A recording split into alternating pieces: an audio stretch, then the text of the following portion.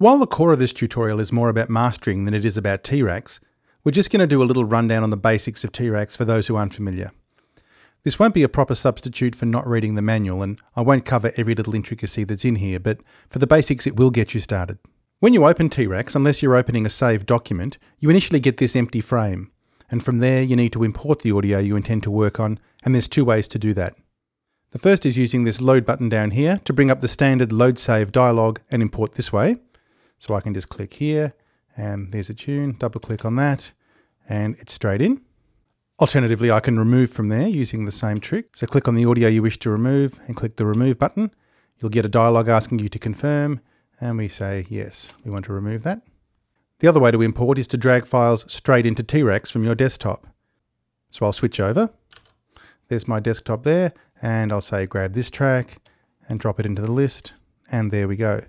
Drop another one into the list and so on. But what's even better about this is you don't actually have to drop it over the list. Anywhere in the entire T-RackS GUI is fine. So I'll grab this top one and I'll you know, let go over here, straight into the list. Grab this one down here and you know, go right to the top of T-RackS, drop it there, straight into the list. So fantastic, you don't have to be super accurate, just drag it over the GUI and you'll be fine. Now you can't reorder the tracks once they're in this list, but really there's no need to. This has nothing to do with the order that your CD will run, and every file is separate in T-RackS and can each run its own chain of effects. So the order of this list is largely irrelevant. You can jump from 1 to 4 to 3 as you're playing, so it simply doesn't matter. Now once a file's in T-RackS, you can adjust in and out points for the file and in and out fades. So let's say we were trimming up this song, we can zoom in, and we can grab this little arrow here and we can see there's a bit of dead space before the actual start of the track. Fine, we'll grab that and we'll make the in point right there. We can zoom right in even more and get very close. And from here we could, if we chose to, grab the fade and let's say set a fade. So have a quick listen to this before the fade. Okay, so a little sort of mmm sound leading into it. I can actually create a fade that finishes right at the point of the impact there. Okay, and vice versa at the other end. We can see there's a bit of dead space there, so we'll zoom out, back to the front, and yep, I'll have to zoom out further than that. We'll come to the end. Oh, still quite a lot. So I'll grab the out marker and keep coming. Say to about there.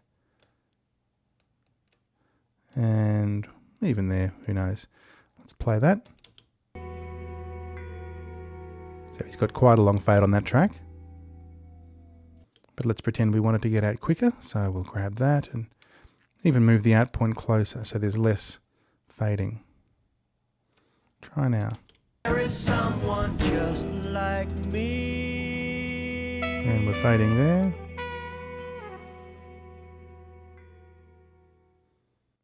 Okay, now here we can choose the type of fade in or fade out shape. So if I click on here, we've got a linear that it's set to now, but if I choose, I can go for a more exponential feel by clicking on that, and now it'll fade out quicker. Yep, gets softer faster, or even more so. This one will get quite soft quite quick, and then the actual soft part of the fade will take longer to go out. There, it's just about gone already. Still hanging in there just. While we're mastering, we might want to set up a loop point within the single track that might say be the loudest part of the song, you know, going over and over, or a certain part we're having trouble with, or whatever. So if we switch on the loop mode from here, and I'll zoom out so we can see what's going on. Right, now we've got some yellow loop points, an in and an out at the other end, which we're a little bit too far out to see. There it is. So for instance, in this track, there's a soft section here, a loud section here. If we wanted to focus our attention on just the loud section while we're doing the core of our mastering, we can set the loop out there, the loop in there, and it will loop within that point. So even if I start near the end of the loop now, it'll loop back to the top and indefinitely loop within those two points.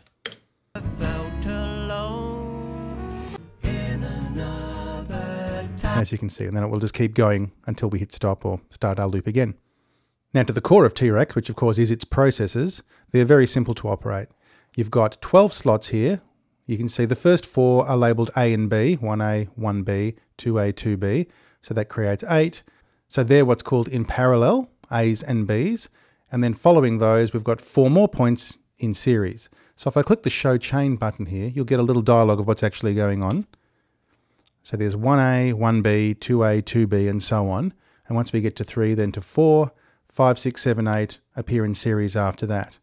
And to insert a plugin is as simple as just clicking on one of these down arrows here. In this case, I'm on A. If I wanted to talk to B, I would click on that one and then I'd be programming B. But let's go back to 1A, click on here and choose the processor of your choice. So let's say linear phase EQ and up it comes. Now if we look at our show chain, we can see that in that first slot there's a linear phase EQ. To remove it, simply go here and either say empty or switch it to another one. So let's say we don't want linear phase EQ, we really want classic equalizer.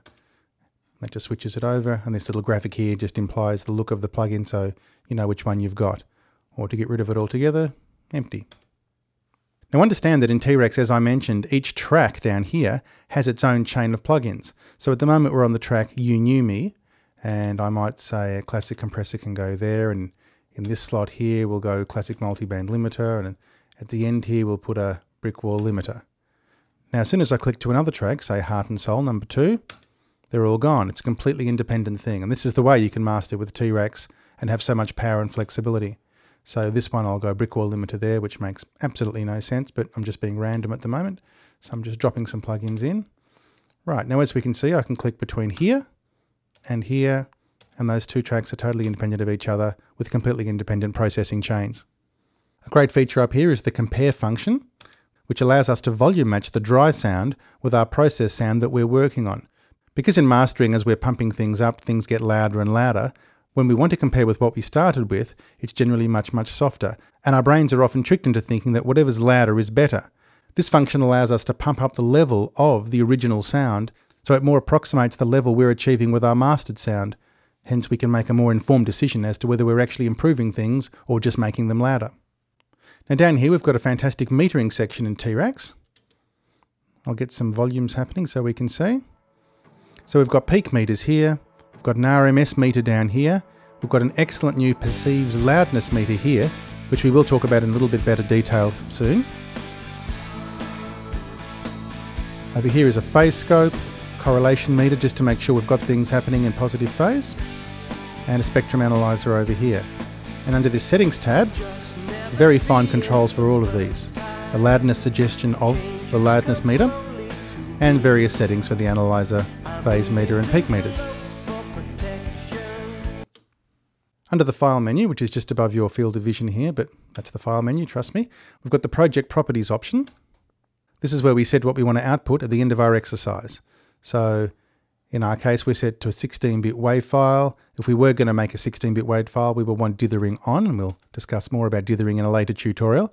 We have various choices, including the standard popular audio file formats such as WAV, AIF, Designer 2, and so on. Now here under the Preferences tab, we can choose T-RackS's quality versus CPU power trade-offs and also latency issues. Now in a straight mastering situation, latency is not usually a problem. So we don't necessarily want the lowest latency, we arguably want the highest latency if it gives us a much better quality product. So we would choose lowest latency off in this case. We'll take oversampling and linear phase on to get the highest quality results. And these other options you can learn more about from the manual. Now let's say we've finished our mastering project and we want to output our results we can go over here to the Process button. Now this is set to what we chose in our Project Properties dialog, which we left as Wave. I turned dithering on, it's 44.1 16-bit. So at this point we can output either the current file, so it's Heart and Soul, because that's the one that's highlighted here, or we can just say everything, I've worked on every single track, I want to output every single one. So we just need to choose an output path for our finished tracks. It's going to append the file name underscore T-RackS so we don't confuse them with the original file. So heartandsoul.wav will turn into heartandsoul underscore T-RackS.wav. And all the files will end up in the directory that we choose here. And that's pretty much the fast view of most of the things in T-RackS. And I'll see you in the next tutorial as we start getting into things.